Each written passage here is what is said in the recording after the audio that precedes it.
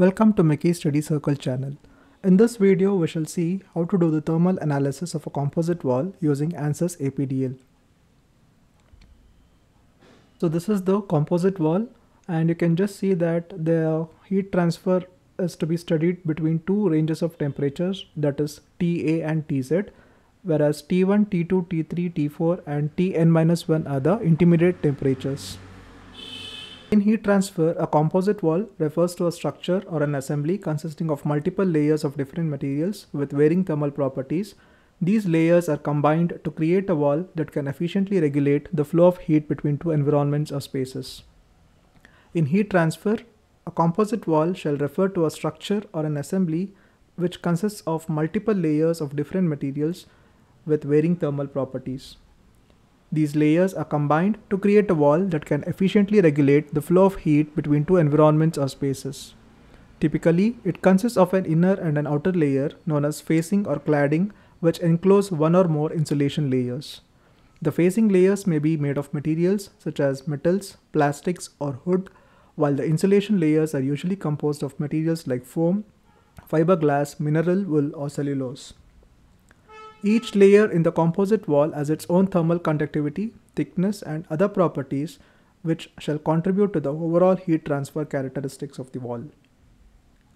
The arrangement and selection of these layers are determined by the specific requirements of the application such as the desired level of insulation, structural integrity and environmental factors.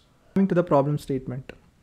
So there is a composite wall of 1 meter height which consists of three materials as illustrated in the figure the outer temperature is 20 degrees Celsius and the convection heat transfer takes place on the inner surface of the wall with the bulk temperature being 800 degrees Celsius and the heat transfer coefficient being with the heat transfer coefficient being 25 watt per meter square degree Celsius.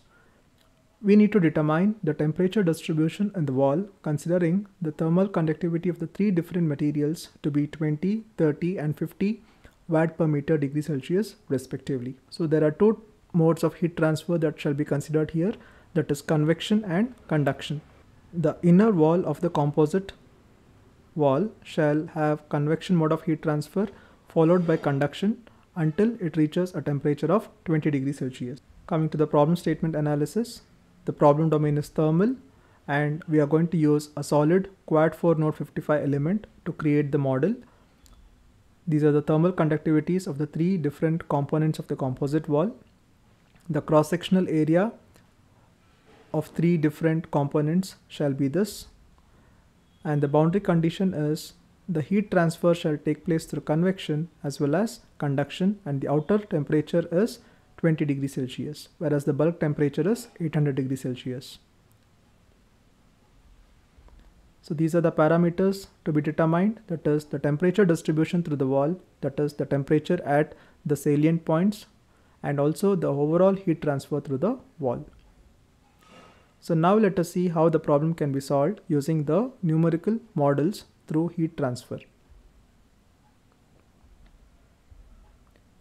So this is the data given, the thermal conductivities of the three components of the composite wall, their cross-sectional areas and the corresponding length the bulk temperature is 800 degrees Celsius and the outer temperature of the composite wall is 20 degrees Celsius. So basically the heat is going to get transferred across these two thermal. Basically the heat transfer is going to take place across these two temperature ranges. So to find Q we shall use this formula for the composite wall and uh, the value will be 7428.57 watts or 7.42 kilowatts. To find the temperatures at the salient points.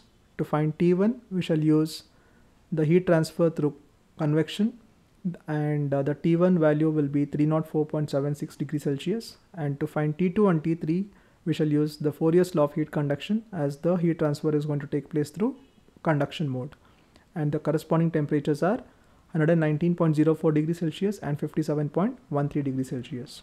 So these are the data that we have found out using the analytical method and now we shall solve the same problem using the ANSYS approach. For file, select clear and start new, select read file, click OK and execute the clear command. Go for file, select change title and enter the title as heat transfer analysis of composite wall click ok right click replot. So you get to see the title name here. Go for preferences select thermal click ok.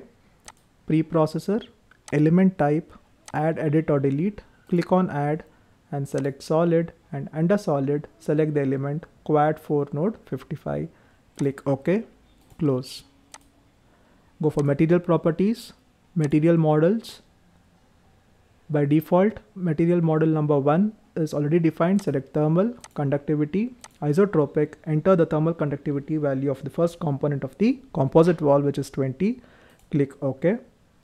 Material, new model with ID 2, click OK and enter the thermal conductivity value of the second component. Click OK.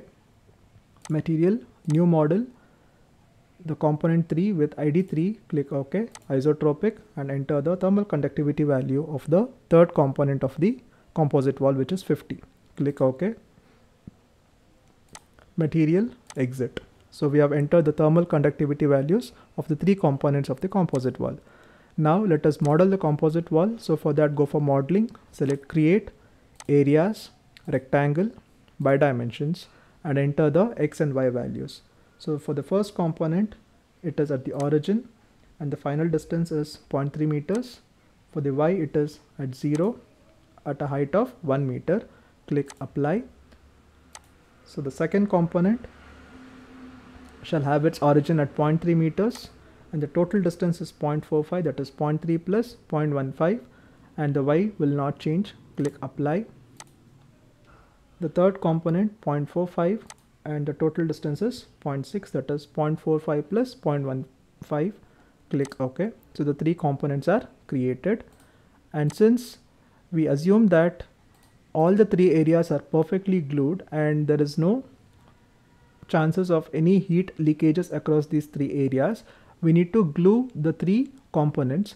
So for that go for operate select booleans and select glue and select the areas so select area 1 and area 2, click apply and select area 2 and area 3, click OK and the three areas are glued.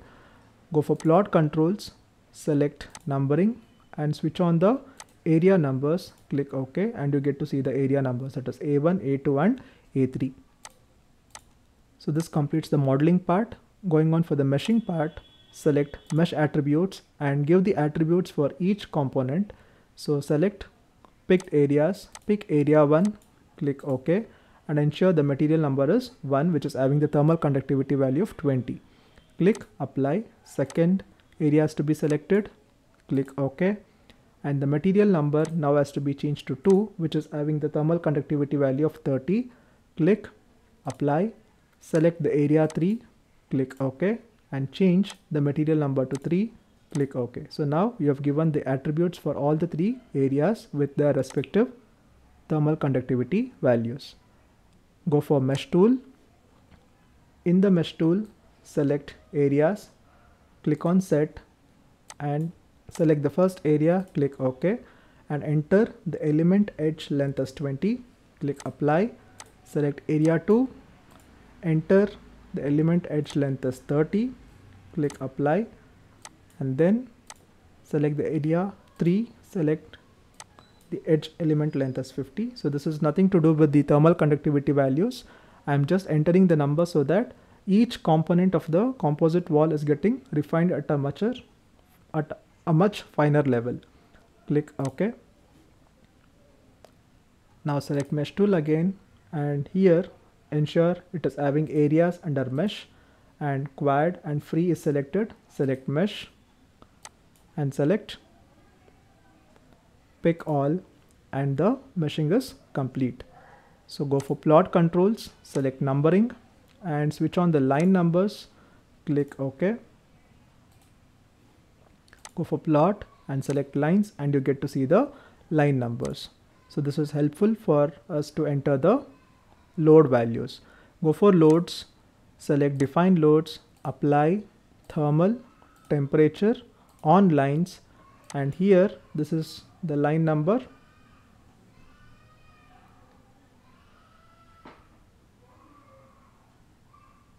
ten.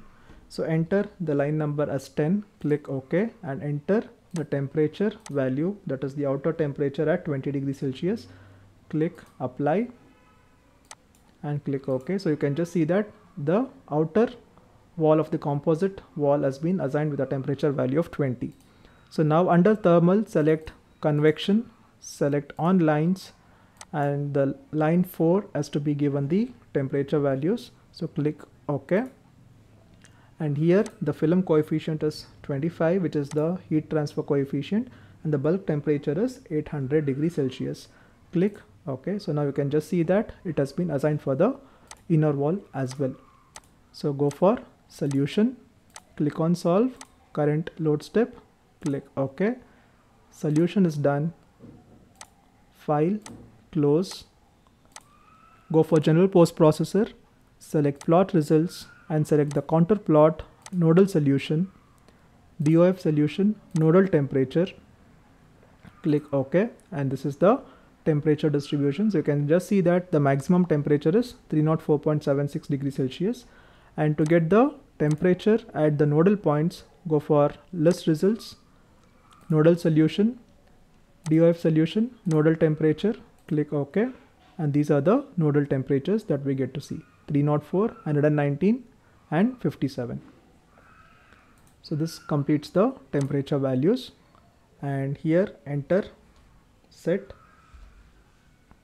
and press enter. In general post processor select element table define table click on add and select.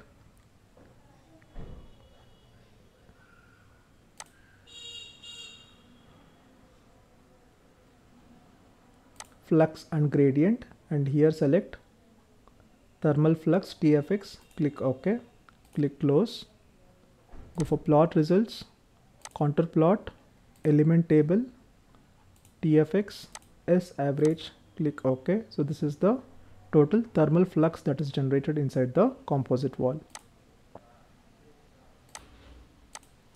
Go for plot controls select animate deform results and select the temperature.